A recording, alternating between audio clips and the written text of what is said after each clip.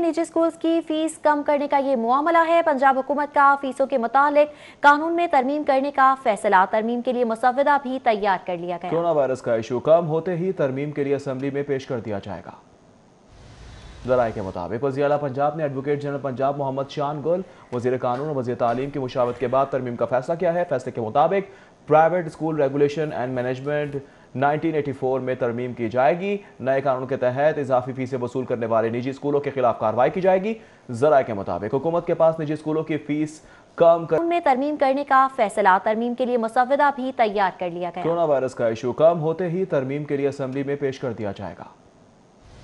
ذرائع کے مطابق وزیر اعلیٰ پنجاب نے ایڈوکیٹ جنرل پنجاب محمد شان گل وزیر قانون اور وزیر تعلیم کی مشاورت کے بعد ترمیم کا فیصلہ کیا ہے۔ فیصلے کے مطابق private school regulation and management nineteen eighty four میں ترمیم کی جائے گی۔ نئے قانون کے تحت اضافی فیسیں وصول کرنے والے نجی اسکولوں کے خلاف کاروائی کی جائے گی۔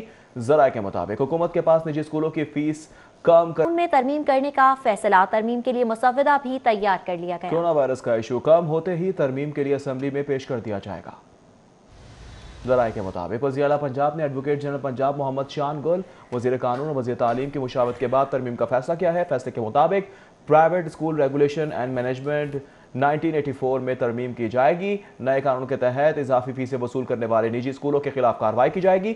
ذرائع کے مطابق حکومت کے پاس نجی اسکولوں کی فیس کم کر میں ترمیم کرنے کا فیصلہ ترمیم کے لیے مسودہ بھی تیار کر لیا گیا۔ کرونا وائرس کا ایشو کم ہوتے ہی ترمیم کے لیے اسمبلی میں پیش کر دیا جائے گا۔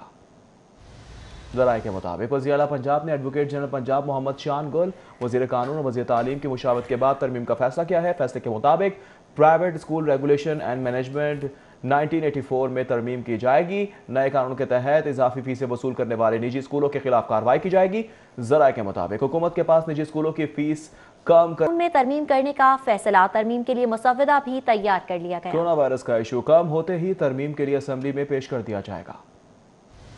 ذرائع کے مطابق وزیر اعلیٰ پنجاب نے ایڈوکیٹ جنرل پنجاب محمد شان گل وزیر قانون اور وزیر تعلیم کی مشاورت کے بعد ترمیم کا فیصلہ کیا ہے۔ فیصلے کے مطابق private school regulation and management nineteen eighty four میں ترمیم کی جائے گی۔ نئے قانون کے تحت اضافی فیسیں وصول کرنے والے نجی اسکولوں کے خلاف کاروائی کی جائے گی۔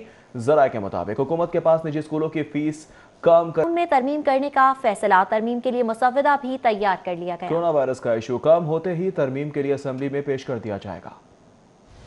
ذرائع کے مطابق وزیر اعلیٰ پنجاب نے ایڈوکیٹ جنرل پنجاب محمد شان گل وزیر قانون اور وزیر تعلیم کی مشاورت کے بعد ترمیم کا فیصلہ کیا ہے۔ فیصلے کے مطابق private school regulation and management nineteen eighty four میں ترمیم کی جائے گی۔ نئے قانون کے تحت اضافی فیسیں وصول کرنے والے نجی اسکولوں کے خلاف کاروائی کی جائے گی۔ ذرائع کے مطابق حکومت کے پاس نجی اسکولوں کی فیس کم کرنے کا اختیار نہیں تھا۔